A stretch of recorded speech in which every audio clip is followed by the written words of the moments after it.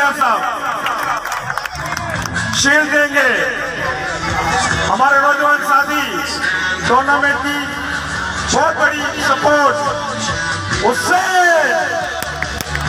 बहुत पहले तो इस बच्चे की न दिन देखा, न रात देखा टूर्नामेंट के लिए बड़ा अहम किरदार अदा किया। हुसैन बहुत बहुत शुक्रिया।